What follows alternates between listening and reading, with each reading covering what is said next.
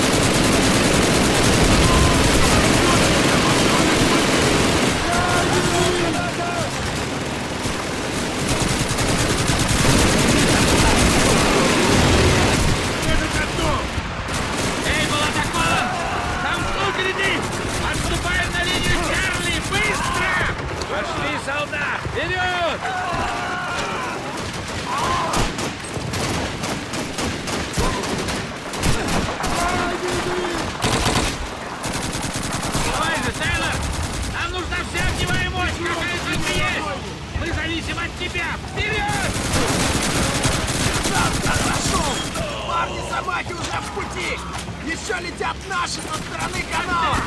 Сколько еще, Брейвер? Приблизительно 5 минут, сэр!